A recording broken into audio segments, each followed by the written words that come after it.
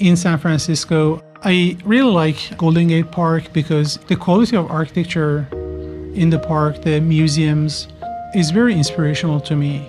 The thoughtfulness of the design, how it's working with the context, how it's working with the landscape, those are the inspirations that I take from that site.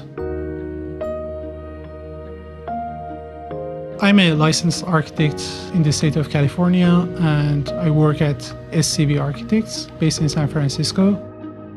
I entered the Future of Shade competition because it was allowing us to use fabric as the material for design.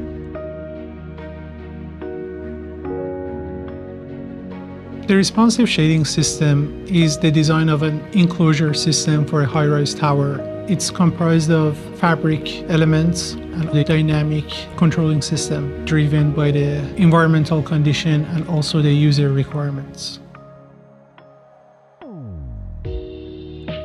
When I was living in Austin, there were so many glass towers getting built. They need to be differentiated from each other. They need to be iconic.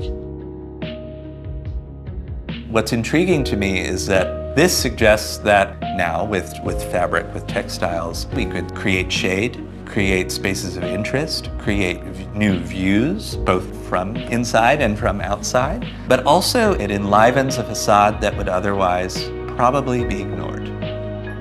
The idea that the skin is responsive is really an appealing part of using fabric for the, the, the project each user on different parts of the building at different times of the day they have different requirements. Somebody you know is closing off the shade somebody is opening up the shade. We have these strips of fabric and the change is like pinching different parts of that fabric.